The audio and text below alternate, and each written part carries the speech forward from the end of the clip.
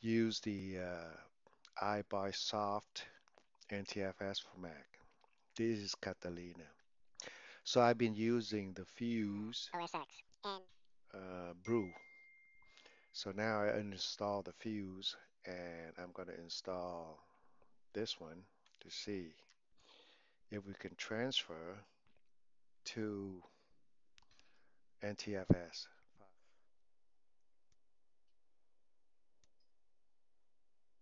Let's see what customization they have. Nothing. Size is zero. Hmm.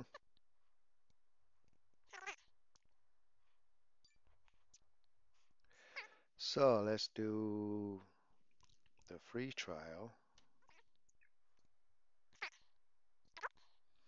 Okay, so now let's reboot.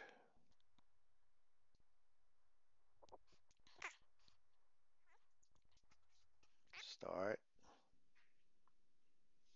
Complete.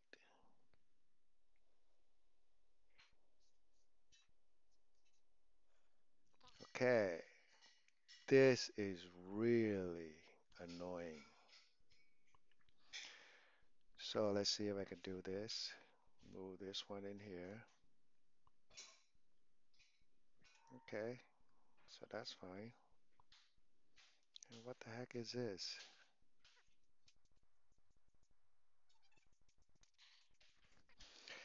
So I'm gonna activate this one.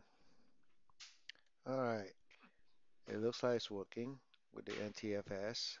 No problem there.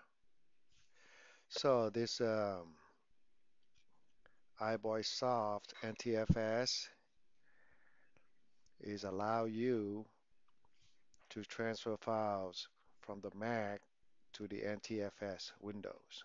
Okay, so if you do the Hackintosh, you have the Windows here, then you can drag the files into Windows